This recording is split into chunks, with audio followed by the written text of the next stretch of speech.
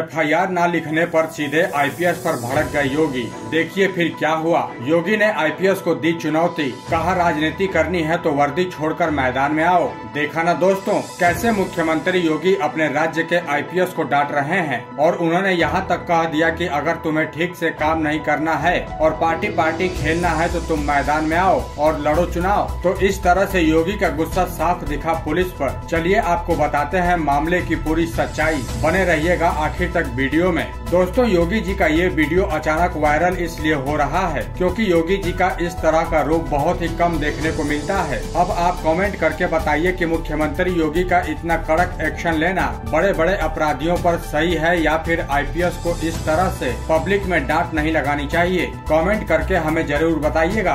दोस्तों, हमारे देश में कुछ ऑफिसर्स ऐसे भी हैं जो घूस लेकर एफआईआर नहीं लिखते या फिर अपराधियों को पैसे लेकर छोड़ देते हैं और ऐसा ही कुछ हुआ था। इसलिए योगी जी को गुस्सा आ गया और उन्होंने सीधा बोला कि, अगर पार्टी बनाना है तो वर्दी छोड़िए, खुले मैदान में आइए। लेकिन अगर पुलिस की नौकरी करनी है तो पुलिस की मर्यादा और वर्दी की मर्यादा में रहिए। बता दें कि यूपी के एक थाने में पुलिस एफआईआर नहीं लिख रही थी तो सीधा मुख्यमंत्री योगी जी वहाँ पहुँच गए और उन्होंने उस थाने के आईपीएस सहित तमाम बड़े अपराधियों को सबके सामने डांट लगा दी। और इसके साथ ही मुख्यमंत्री योगी ने पुलिस को आदेश दिया की, वो जनता ऐसी दोस्ताना व्यवहार करें और हर घटना पर तुरंत एक्शन लें और ऐसे में जिन पुलिस अपराधियों के संबंध अपराधियों से है, उनके बारे में तुरंत जानकारी निकालकर उन्हें सस्पेंड कर दिया जाए। इसके साथ ही मुख्यमंत्री योगी ने यह भी कहा कि अगर ऐसा कुछ करने में लापरवाही की गई तो मैं लखनऊ में ही बैठा हूँ, कोई हल्का फुल्का मुख्यमंत्री नहीं हूँ और ऐसे में पुलिस या तो खुद कार्रवाई करे या फिर अपने ऊपर होने वाली कार्रवाई को झेलने के लिए तैयार रहे। उन्हें सख्ती से कहा है कि पुलिस अधिकारी सभी लोगों के शिकायतों को समय पर दर्ज करें और उनसे